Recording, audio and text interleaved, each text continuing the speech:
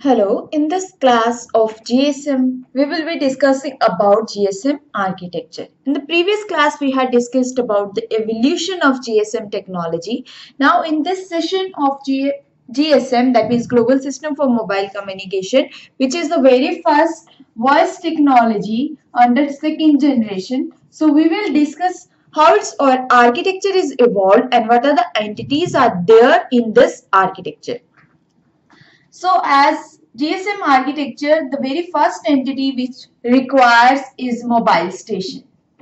The next part which as per the desi desired network ar architecture overview, we require a part and that one is BSS part.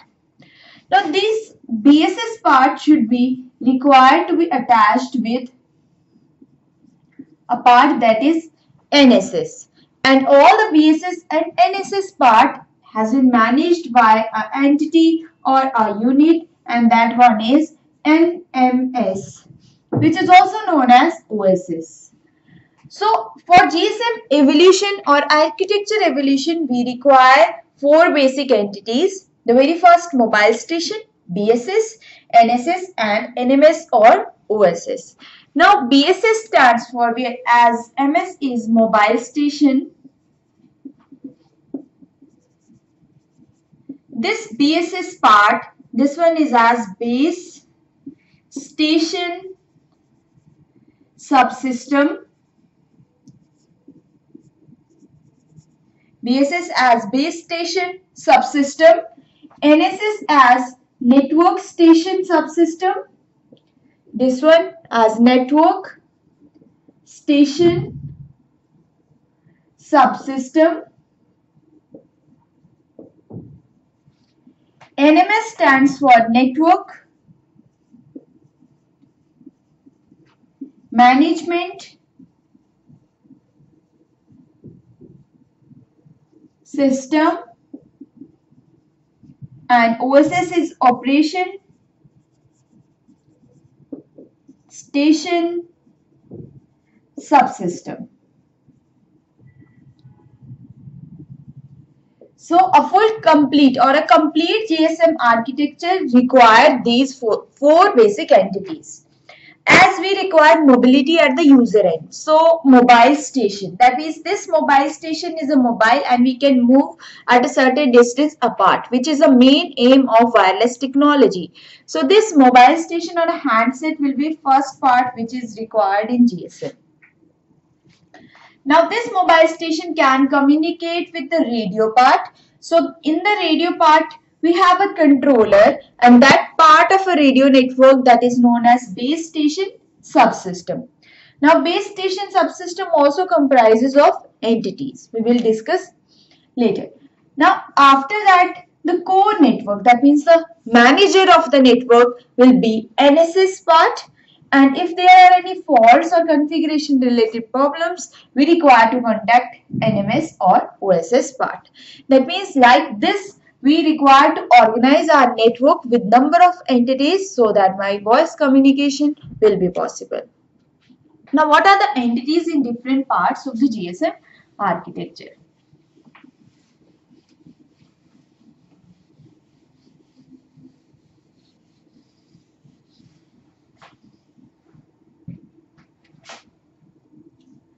So very first mobile station.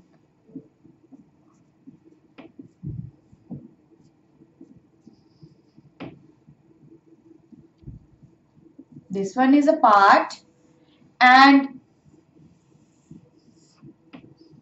so it is BSS part. So BSS comprises of BTS Now BTS is controlled by entity which is BSC. So these are the entities which are there in my BSS part. That means base station subsystem part. I have BTS and BSC attached. Now this BTS is base trans receiver station and this BSC as base station controller.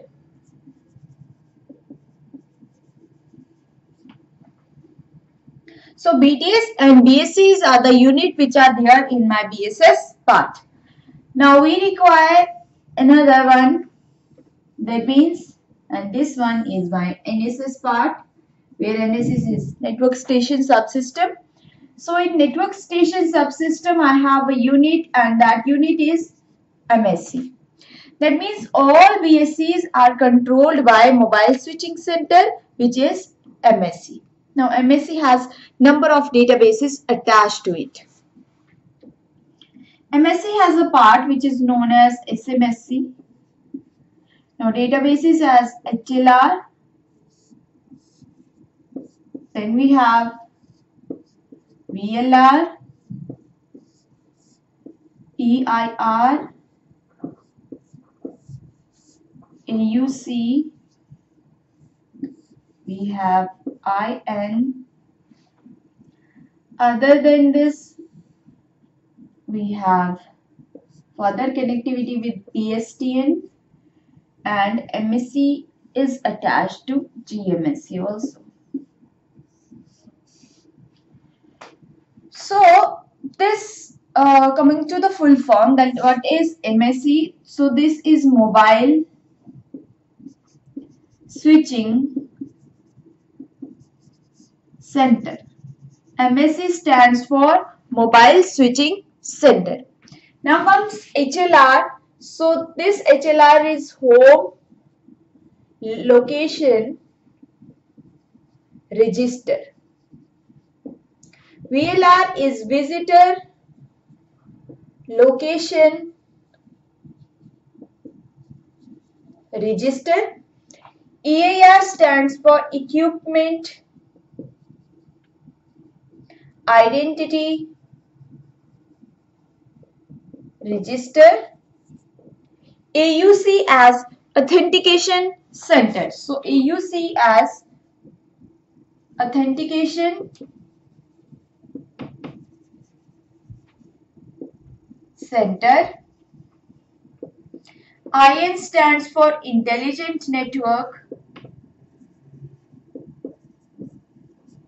After that we have GMSC where GMSC is gateway MSC and SMSC. So SMSC is short message service center. So if I focus on the complete NSS part, it comprises of a unit and main unit is mobile switching center. Now with this mobile switching center, I have number of registers and the databases attached. A register is a component that can store value in it. So combination of register that forms my database. So I have home location register, visitor location register. That means these are the databases, those who are storing values in them. Equipment identity register, authentication center, intelligent network and gateway MSS. So these are the units which are there in NSS part. Now we are left with NMS part that what are the units there in NMS or OSS part. So if this is my unit which is my NSS, I also call it as OSS or OMC where OMC is Operation and Maintenance Center. Now this Operation and Maintenance Center is divided into two parts which are OMCR that means Operation and Maintenance Center for Radio and OMCS Operation and Maintenance Center for Switch. Now those who are managing the radio part will be my OMCR and NSS part is managed by OMCS and full this department or this part is known as Operation and Maintenance Center which is used for network management or operation station subsystem units. So this is a complete okay we have PSTN also where PSTN is public switched telephone public switched telephone network. So this is my PSTN. So this is the complete GSM architecture. Now with the help of these entities, we, we will be able to communicate with users at a distance apart. Now let's discuss the function of each and every unit in this architecture.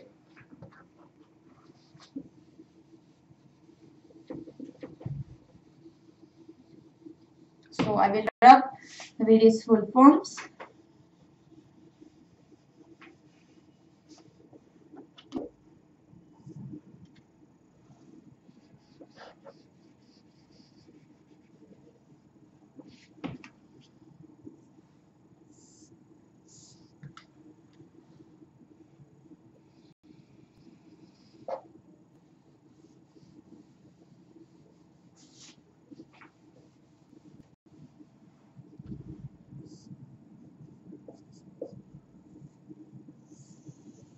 So now mobile station that means my cell phone is attached to I require to attach it with BSS part.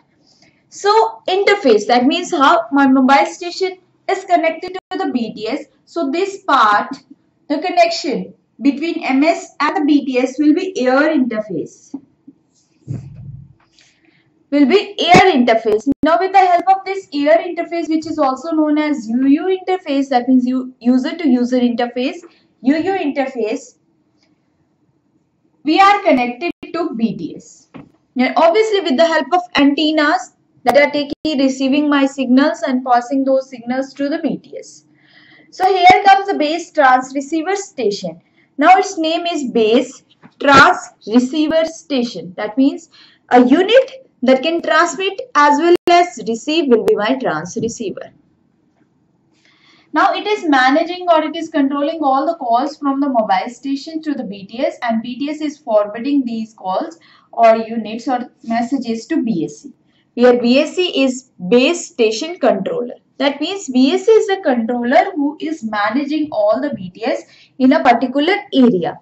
So we have a separate controller to control all the BTS in the unit.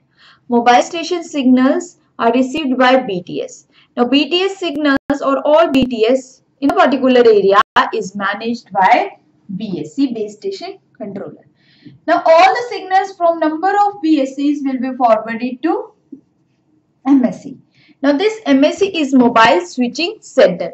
Switching that means to, to connect a call from one end to another end and switching part is being managed by MSC or mobile switching center unit. Okay, this is my MSC. Now this is the heart of the network. All the switching functionalities, all the authentication, all the verification as well as security purposes will be there in the mobile switching part only. So that means this is a secret and a confidential part in which I have a MSC who is used for locating a persons. So this MSC has a number of registers attached like first register is HLR. So HLR has home location register. Home location register has a functionality that it stores the permanent location of the users. So a home location that means here we have permanent database. Permanent means like whenever we go for a to purchase a SIM, I require a address proof. And according to my location they allocate me a particular cell. So cell allocated to me will be my home. My house number will not be my home. The cell allocated to me will be my home and I will be registered in the network that this user equipment with this contact number will be in this location or this cell. So this form my permanent location and in SIM activation it is storing the location in the HLR database. As we have number also defined according to the HLR that under HLR1 we have these numbers. So allocate it. So that means permanent location or permanent databases will be my HLR home location register and that's why its name is home location. Register value it can store a value. Then we have next that means visitor location register Now visitor location register deals with changing locations. Like I have a handover. I usually move from one end to another, from another to another and so on up to. So that means I keep on changing my locations. So changing locations will be saved in VLR or visitor location register. That's why it's named it as visitor location because our locations keep on changing and this register will keep on saving those locations. After that we have EIR where EIR as equipment identity register. Now in EIR database we have defined three types of list. In EIR we have defined whitelist users, gray list and blacklist. Whitelist users are the normal users, the, those who are communicating. Grey list users are the service denied users.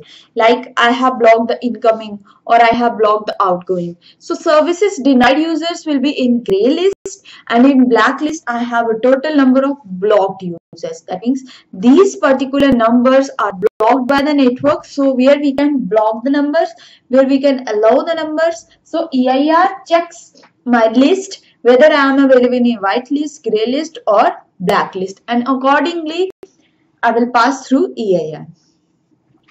After that we have authentication center. Authentication means verification. Now in my SIM that means my mobile station I have a subscriber identity module. Now in this subscriber identity mode module or the SIM I have a key stored and the same key that is stored in the SIM, the same key is stored in the authentication center database. Now when this SIM wants to communicate with the network, the authentication center matches the SIM or matches the key from the SIM. If the key matches, then means user is authenticated. And if key does not match that means user is not authenticated.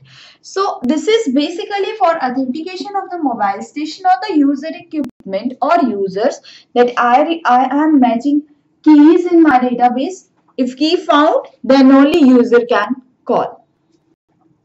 Next one database as IN where IN as intelligent network so intelligent network is there in the GSM architecture which is there for billing section. That means all the bills are generated in the intelligent network part according to their plans. Of the prepaid connections. For postpaid bills are generated by MSC but prepaid connections bills are generated by intelligent network. All the value added services, all the prepaid calls will be recorded in this. Now we have gateway MSC. Now gateway MSC. We have number of MSCs in India. Let, uh, let it be 23. So gateway MSC is used whenever we, we require to connect number of MSCs together. For example, in case of international calling, we require to pass through gateway MSC and that gateway MSC of India with contact with gateway MSC of Australia and then only we can communicate. So that means all the MSCs are connected to the gateway so that we can have international calling also possible. Now, after this we have SMSC where SMSC stands for Short Message Service Center. My phone has Short Message Service Center number defined. That means the address of this particular SMSC. Now this works on store and forward as it basically deals with short messages. That means my SMSs. So store and forward. Every message will be stored first in its databases. Then it is forward and after that it will give me a delivery report of the SMS. So that means this is a functionality of short message service center. If I am calling, I require to pass through this. And if I am doing SMSs, then I require to pass through short message service center number. Now, these are the main databases in NSS part. Now move to the NMS part which is operation and maintenance center. Now operation and maintenance center has a functionality of alarm monitoring, configuration management, performance management. That means it requires to find out all the alarms in the network, to find out configurations and check the performances of the sites. So we have divided this unit into two OMCR Operation and Maintenance Center for radio and OMCS Operation and Maintenance Center for switch. I have a radio part so it will manage all the alarms related to this unit which manages my radio part OMC R that means my BTS part and all the switching part that means MSC and BSC will be controlled by OMCS Operation and Maintenance Center for switch.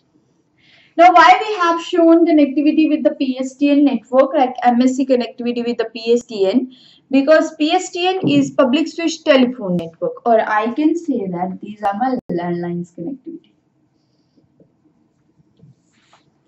So we require to communicate with landline phone also from mobile station we require to possible call from mobile station to landlines and call from landlines to mobile station. So we require to connect my MSC with the PSTN network or the landline connectivity or landline network. That's why we have connected my MSC with the PSTN network so that call will be possible. Now if this mobile station wants to contact this mobile station then also it required to pass through MSC because all database or all information is there in MSC part. So this is a brief introduction of GSM architecture. We will continue in our next class. Thank you so much.